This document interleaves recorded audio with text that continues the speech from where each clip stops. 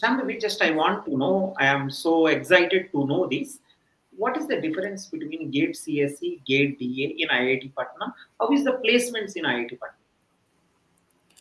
Yes, sir. Um, placements here at IIT Patna are, uh, I can say, sir, uh, mixed.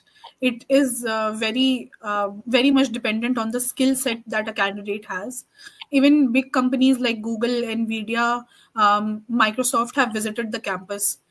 But uh, even startups come with very good package here.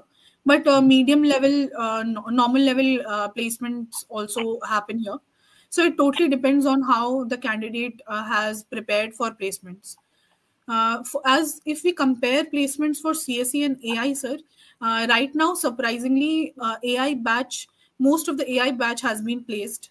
Uh, mm-hmm. right now, internships in internships also, sir. Mm, AI people got a lot of internships. Even they were most of them went for internship before CSE.